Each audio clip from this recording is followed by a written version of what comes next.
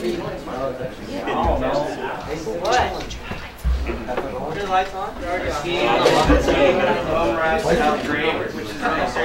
wait, wait, wait for your audience. I don't even know if it exists.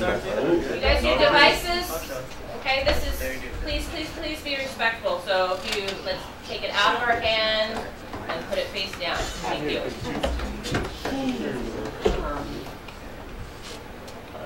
All right. So I'm Jose. I'm Zach. I'm Ashley. And our team is the Mome Raths Outgrabe. That's an excerpt from the poem The Jabberwocky. And uh, yeah, that's it. It's Ashley. We are dedicated to the school. It has been a big part of our lives, a place we all will remember for the rest of our lives. This school has done a lot for us, and for that we are grateful and dedicated to it. The memories we have made at this place will forever be engraved in our hearts and our minds. For this, we thank the school and we cherish it. Where we're from, poem. Where we're from, friends come and grow. Or friends come and go when you grow up. You'll never know they stuck around for the end. Where we're from, in nutrition, there's nothing nutritious about the food. Lunch is the same old thing, nothing new. Where we're from, a piece of paper is like a piece of gum. People always come running and are always asking for some. Where we're from, trash by trash cans being unused and vending machines that are few. Where we're from, memories good, good and bad stick around for life, like the trip to, like the trip to Disneyland we had. Where we're from, you'll get brainwashed by putting your right hand over your heart. We've heard it so much from the very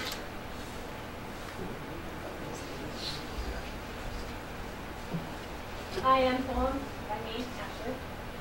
I am a shy person who loves to smile. I wonder what it's like in space. I hear birds talking to each other. I see my bright future. I wonder, no, I want my family to be happy. I am a shy person who loves to smile. I pretend not to be shy. I feel like walking on the stars. I touch people's hearts. I worry about my family. I cry when my animals die. I am a shy person who loves to smile. I understand people will judge you no matter what. I say never give up. I believe about the future and where I'm gonna be. I try to be myself. I hope I never stop caring. I'm a shy person who loves to smile. I did a blackout poem, and I call it What Matters by me Jose. And it starts from the top, as you all know, the arrow is just so moving along. And it goes, shedding light, black lives, all lives. Injustice, hope, working, spark, peaceful, revolution. Empower, voices be heard. Educating is most important in order to rise above. Learning culture, history. That's it. Uh, I wrote an ode, and uh, it's called The Ode to the Population. Forever engaged in repetition, most feel the need for useless competition. The population is screwed, they say, while most worry if they accept a rude way. Feminazi females and cisgender males, this is why I worry about what the future entails. Trump's in office, and most hate what that means. But the ignorance is massive, the information misleads. As for who is in office, most don't understand. They hate him without reason, not even knowing his plans. The population is massive, population occurs, the right of patches and grows, a mistake for most.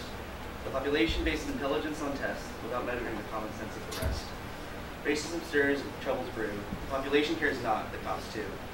The sad excuse for a population, completely failing their expectations. The roll is polluted, gas is astray. Things will collapse if left this way. Half the world starves with no food in their bellies. The other half watches TV on the tellies. The population saddens me so. I'm part of this silly thing that makes me want to let go. And together we, created a poem about a past event that happened really tragic event on 9-11. And it starts off as, it all happened so fast, faster than the flash. They toppled down the game of Jenga, except, except no one wins. The explosion is wild. Thousands perish. Nothing. No. Not long enough for the loved ones to cherish. The towers fall, it's on a downward slope.